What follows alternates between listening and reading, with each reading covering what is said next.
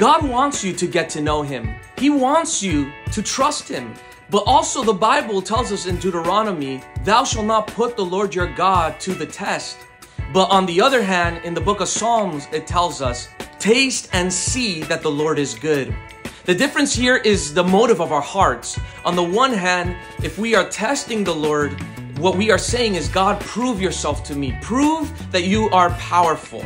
But on the other hand, when we are tasting the Lord, we are being children who are hungry to get to know the Lord more. We don't seek the Lord through a religious activity, but to establish a relationship with Him.